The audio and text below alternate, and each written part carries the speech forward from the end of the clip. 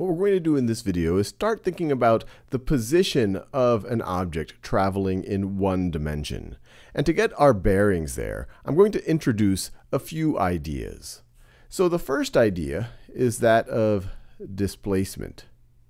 So you might use that word in everyday language, and it literally means your change in position. Your change in position.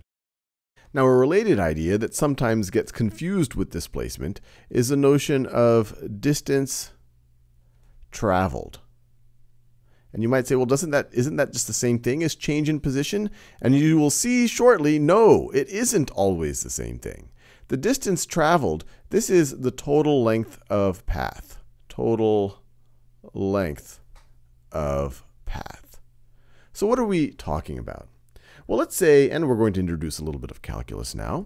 Let's say that we have a particle's velocity function.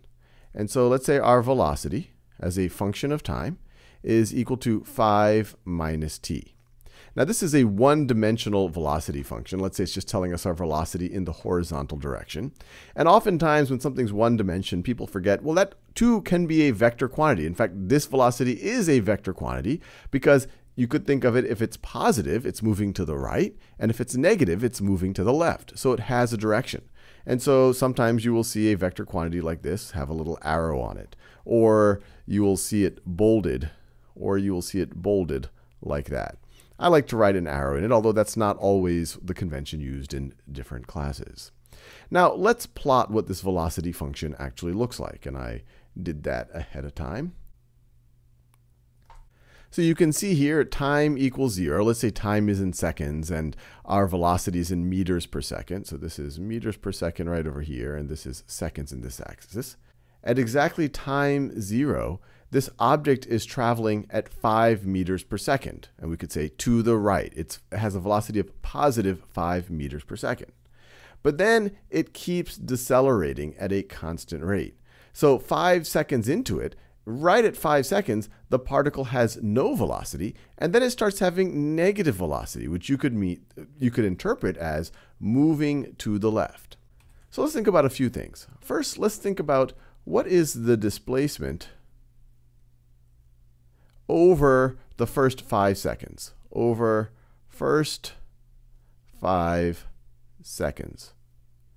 Well, we've seen already multiple times. If you want to find the change in quantity, you can take the integral of the rate function of it. And so velocity is actually the rate of displacement is one way to think about it. So displacement over the first 5 seconds, we could take the integral from 0 to 5, 0 to 5, of our velocity function, of our velocity function, just like that. And we can even calculate this really fast. That would just be this area right over here, which we could just use a little bit of geometry. This is a 5 by 5 triangle. So 5 times 5 is 25 times 1 half. Remember, area of a triangle is 1 half base times height. So this is going to be 12.5. And let's see, this is going to be meters per second times seconds. So 12.5 meters. So that's the change in position for that particle over the first 5 seconds. Wherever it started, it's now going to be 12.5 meters to the right of it, assuming that positive is to the right. Now, what about over, over the first 10 seconds? Now this gets interesting, and I encourage you to pause your video and think about it. What would be the displacement over the first 10 seconds? Well, we would just do the same thing, the integral from 0 to 10 of our velocity function, our one-dimensional velocity function, dt. And so that would be the area from here all the way to right over there, so this entire area.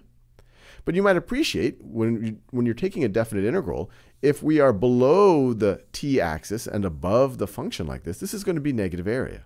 And in fact, this area and this area are going to exactly cancel out, and you're going to get 0 meters. Now you might be saying, how can that be? After 10 seconds, how do we, how, what, why is our displacement only 0 meters? This particle's been moving the entire time. Well, remember what's going on. The first 5 seconds, it's moving to the right. It's decelerating the whole time. And then right at 5 seconds, it has gone 12.5 meters to the right. But then it starts, its velocity starts becoming negative, and the particle starts moving to the left. And so over the next 5 seconds, it actually moves 12.5 meters to the left, and then these two things net out. So the particle has gone over 10 seconds, 12.5 meters to the right, and then 12.5 meters to the left. And so its change in position is 0 meters. It has not changed. Now you might start you might start to be appreciating what the difference between displacement and distance traveled is. So distance, if you're talking about your total length of path, you don't care as much about direction. And so instead of thinking about velocity, what we would do is think about speed. And speed is, you could view in this case, especially in this one-dimensional case, this is equal to the absolute value of velocity. Later on, when we do multiple dimensions, it would be the magnitude of the velocity function, which is what the absolute function, which is what the absolute value function does in one dimension. So what would this look like if we plotted it? Well, the absolute value of the velocity function would just look like that. And so if you want the distance, you would find the, the distance traveled, I should say, you would find the integral over the appropriate change in time of the speed function right over here, which we have graphed. So notice, if we want the distance traveled, so I'll just say, I'll write it out, distance traveled over first five seconds, first five seconds, what would it be? Well, it would be the integral from 0 to 5 of the absolute value of our velocity function, which is, you could just view it as our speed function right over here, dt. And so it would be this area, which we already know to be 12.5 meters.